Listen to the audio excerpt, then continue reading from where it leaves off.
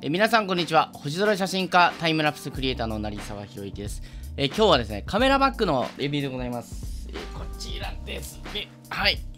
えこれなんていうカメラバッグだっけ？えっ、とバンガードのベオアダプター R48 っていうそういう型番のものですね。これなんか三脚とかついてますけどこれ実際私が使ってそのまんまの状態で今お出ししてるんですけど私が普段使ってるカメラバッグのサイズってこれよりもっと大きいやつなんですけどもこちらをですねあの例えば、えー、ちょっと街に行ってパシャッと撮りたいなとかあとは仕事でセミナーがあって、えー、ちょっと都内に出るとか、えー、そういうですね、えー、何ですかね、あまり荷物を大きくしない時の撮影まあ、変な言い方ですけどカメラ1個持って行ってパシャッと撮ったりとか、えー、三脚1個ぶら下げて、えー、ちょっとタイムラプス撮ったりとか、まあ、そういう時のために使ってるバッグですね。でこれですねあの私もう1年ぐらい使ってるんで去年のちょうど4月ぐらいに、え、導入したのかな。であの私カメラバッグのレビューってそのなぜかカメラバッグって使ってみないと分かんないじゃないですか。だから1年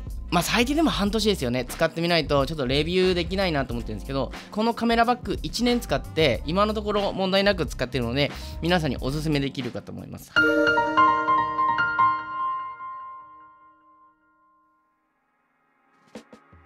あのまずこのカメラバッグちょっと今三脚ついてるんですけど、えー、ちょっとこの三脚外しましょうか。まずちょっと縦長ですよね。私こういう小さめのカメラバッグこれ私にとって小さめなんですけど扱いやすいサイズのカメラバッグを使う時も縦長のやつ選ぶようにしてるんですよ。それはなぜかというと背中のなんか設置面積っていうんですか？要は背中に触れている面積が大きければ大きいほど広いほど疲れにくいんですよ。小さいバッグで中に機材を入れて、えー、こう背負った時と同じ量をこの長い細長いタイプ背中の設置面積がこう広いタイプに、えー、入れて使った時とでは全然疲れ方が違うんですよね。だからあのカメラバッグ選ぶ人に私おすすめしたいのはこう横に広いタイプじゃなくて縦に広いタイプを使った方がいいですよっていうのはお伝えしたいですね。で私ですねこの手の小さめのカメラバッグって今までね 何個も買ってんですよ。でもなかなかねいいのに巡り合えない中でやっとこれバンガルさんのやつで見つけたんですよね。まあバンガルさん私あのアンバサダーやってるっていうのもあるんですけどまあ実際それまでバンガーノさん以外のカメラバッグで使っててまあなかなかいいのがなくってでバンガーノさんで良さそうだなって思って使ってみたらよかったっていうことでなんか結局なんかバンガの製品私相性いいんだなって思ってるんですけどでこのカメラそのカメラバッグどういうところに悩んでたかというとですねまず圧倒的に違うのはこの肩ベルト。この肩ベルトですね。この肩ベルトはやっぱねそれなりのやつを使わないとなんかビローンって伸びてめちゃめちゃなんていうんかねこうしょいづらくなるんですよ後々ね。でこれなんかこうすごいイボイボのこうクッション材とか入っててしょいやすいですし、まあ、このぐらいの太さじゃないとね長く使えない。はい。でえっ、ー、とこのぐらいのショルダーベルトじゃあこのぐらいの肩ベルトショルダーベルトになってくるとウエストベルトがつくんですよ。でウエストベルトもねごっつくなるのがほとんどなんです。あのこれは私なんかシティユース向けっていうかえ気軽に撮影で使いたかったのであまり腰ベルトあってもごっついのじゃない方が良かったんですね。でこれ一応ねウエストベルトこうやってついてます。ここから両側からこう出せるんですよね。はい。つけるんですがまああの邪魔くさくないよぐらいのサイズのが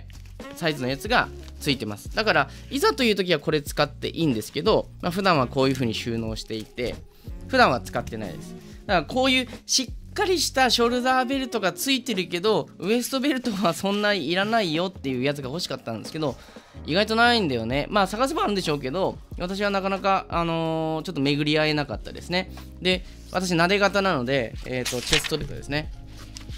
こいつは必須です。こいつがないとえー、私の肩は撫で方なんでずるずるずる下がっていってしまうんです。はい、で、えーと、私のこだわりとしてはあのこうやって地面にねカメラバッグを置いたらもうベロッとめくりたいんですよ。こういう風にベロッとめくれるやつがいいんですよね。これ逆に開くタイプだとあの汚れるじゃないですかこの背中に触れるところがだからあのー、ここがバサッとこう開くタイプが、えー、好きなんですねでこのあともう一個こだわりがですねこの背中側にパソコンが入れれるようになってます。パソコンって意外と重いじゃないですか。私 MacBook Pro 使ってるんですけどそれなりに重いんですよね。だからこう背中側にそのパソコン Mac が入ることによって、えー、こう引っ張られないっていうかあの軽めにその重心がね、えー、背中側に来るので持ちやすくなるっていうことですね。それからスーツケース、えー、に持ち歩くことがあるのでこうスーツケースにこうさせるようにここのベルトが走るようになってます。ここにこうやってスーツケースの、ね、取っ手をこう入れられるんですね。なおかつですねこの何？チャック？ジッパー？ファスナー？ここ。あのねここやっぱね壊れるよね。私みたいに いっぱい荷物詰め込む人はこのファスナーから大体壊れる。でえっ、ー、と壊れないファスナーのタイプって大体分かってきたんですけどえっ、ー、とここの手のタイプの、えこのジッパーっていうのは壊れないです。で逆にこの横にあるこういうジッパーっていうんですか。この形のやつはあんまり中にパンパンに詰め込んでおくとどんどん伸びてジッパー壊れます。はい。でこの頭側ね。頭側もこうやって開くんですけどここが開くんですけどえこのジッパーも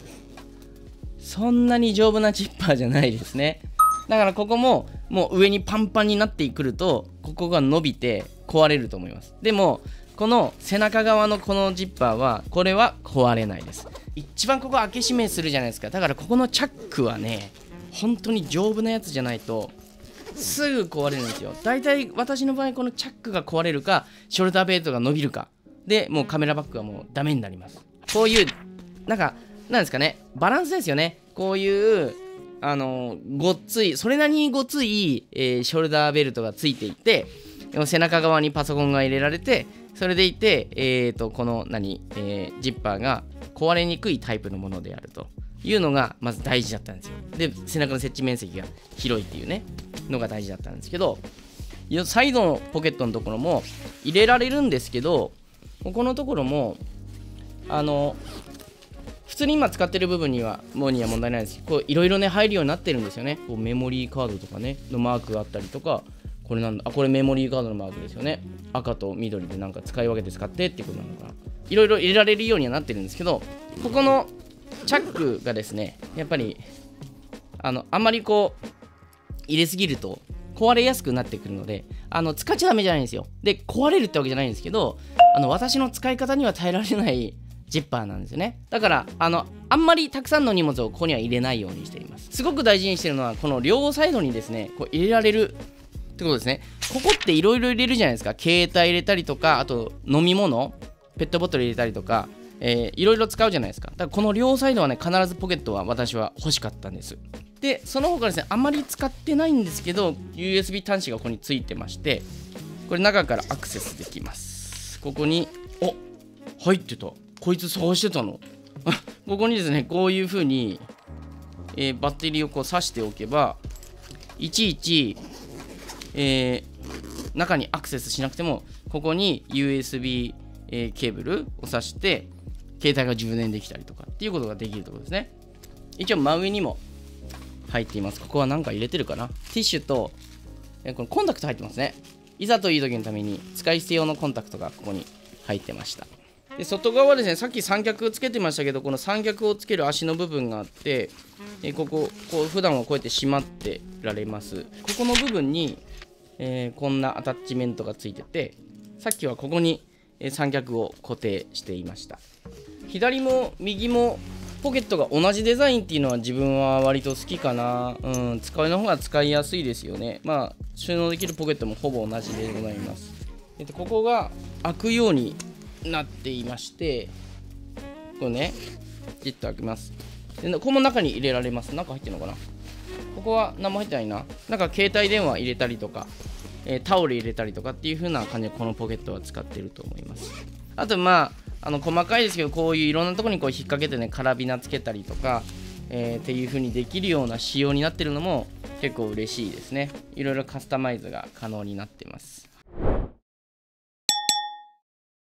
えー、ということで、えー、私が使っているカメラバッグのご紹介でございました。えー、これはシティユース向けですね。お値段もね、そんなに、えー、バカ高くないっていうか、まあ一番気に入ってるのはやっぱりこの背中の接地面積が広いので、背負った時に重く感じないってことですね。そこやっぱり私は一番大事です。で、長く使うために、え、このショルダーベルトの耐久性も良くって、